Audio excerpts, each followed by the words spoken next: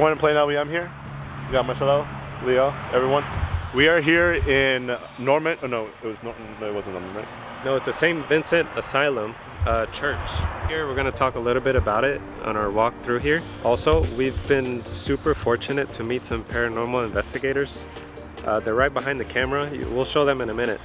But uh, they told us that we pretty much have permission to check out the place. We're going to get some drone footage um, and we're going to give them a shout out towards the end of the video. So watch it till the end of the video. So for now, let's go check out the building. So look at it. Uh, see what we find. Anyways, guys, this is again a church that used to be St. Vincent's home. So as you guys can see right there, there's a sign that shows the whole building. But obviously, people come here and 10 years ago, you can look up pictures. I'll put one right here that it look it used to look a lot cleaner and all these bushes weren't here and there's no graffiti. But obviously, since the owner doesn't care about protecting it too much anymore, there's a lot of you see it's a lot more run down now. There's a lot of graffiti since it's like wide open, so you see down the hallway.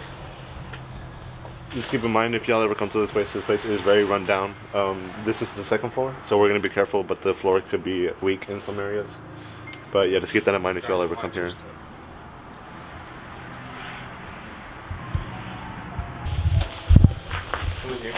So I want to I want to explain a little bit. Um, there used to be a priest here, who uh, this used to be a church really, and then it turned it turned into a uh, asylum, insane asylum where people were sick in the mind and they tried to treat them. Well, the priest here would unfortunately molest all the kids basically that came to church, and uh, that was a big scandal. We're gonna put a description in the box uh, of the whole full story about that. There's like a room right here. I'm guessing this used to be some kind of shelf or a restroom, so you guys can kind of see inside. Now that looks scary. Yeah, it's like a dark blue, like, is that a staircase? Stair- yeah, staircase is blocked. It's, I don't know if y'all can see since it's so dark, but it's blocked off with like debris. Obviously, there's a lot of there's a lot of clothes in this one, so you guys can probably tell that people used to live here, and it was just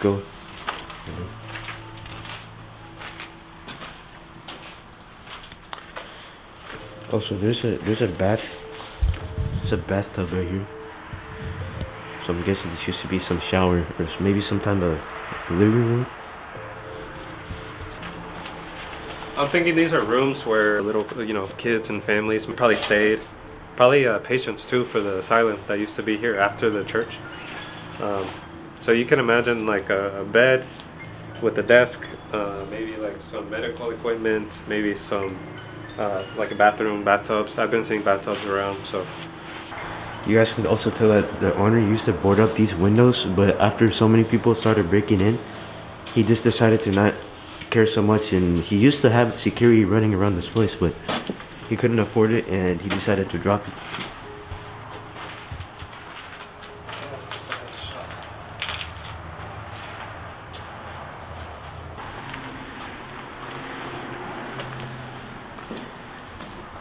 At this place, guys.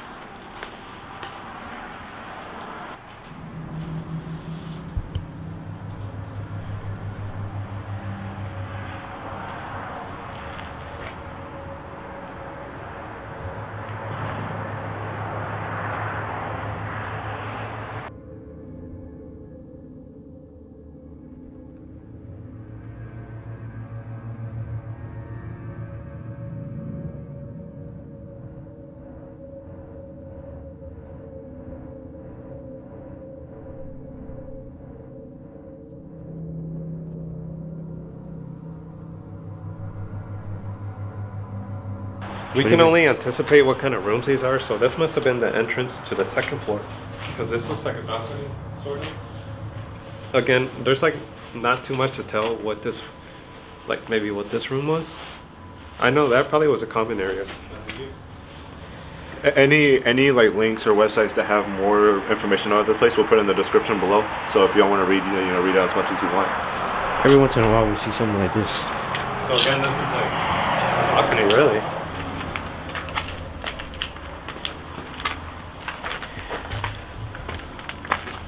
A. This guys, here's the bottom floor of this place. Here's the bottom floor. So Look at this though, you can see where all these pipes were.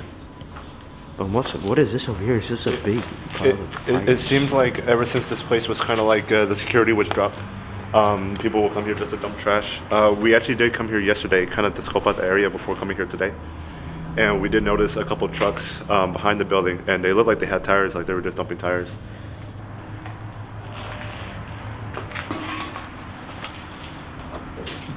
You can see up where you were just right up here. You know, I'm gonna go out on a limb and say that this right here was where the actual uh, mass of the church was happening. So people would come in, uh, the father would speak, and they would talk about All that the stuff. Bible. You know, just um, What about the day? Someone one day just decided to come down and just break down the walls and just. Yeah, I'm, I don't think this happened on its own, so people like to come here and vandalize. Man, let me see if I can read the year on this.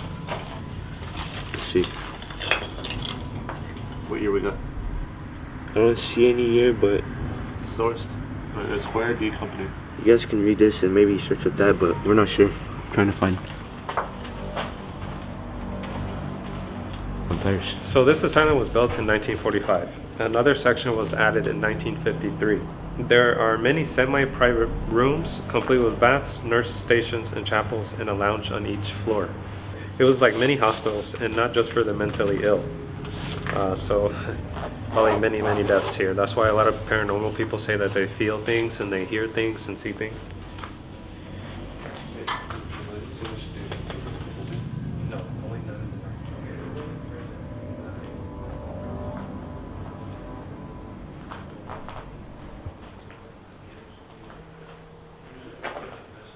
Anyways, guys, after checking out the bottom and the top floor, we're gonna go see if there's anything in the back of the place. So we'll be checking that out here in a little bit. But man, just more tires.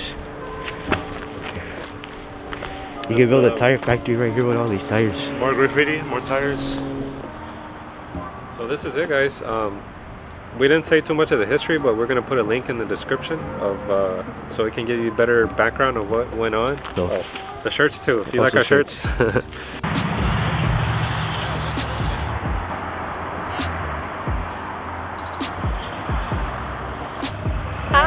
here with Valkyrie uh, investigators. Um, they do paranormal investigations. They're gonna describe a little bit of what they do.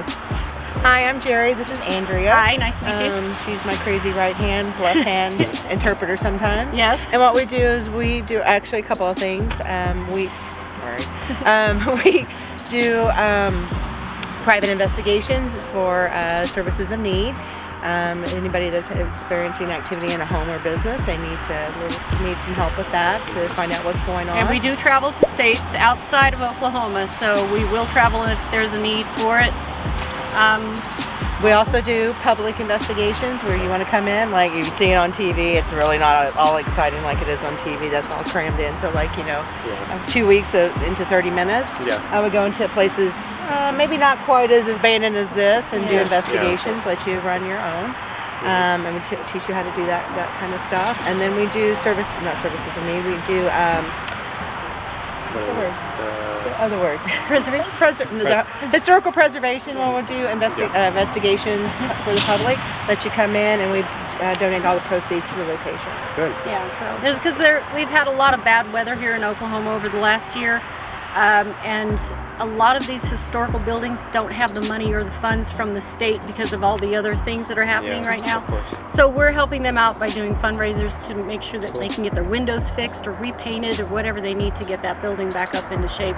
We work with anything in the late 1800s to early 1900s. Right. Is that's it's a lot of fun it can be fun We make a lot of friends and learn a lot of history Yeah. So And we I learned a a lot lot of I learned a lot of history yesterday at the Yes, location we were we uh, did, yeah. uh, Good.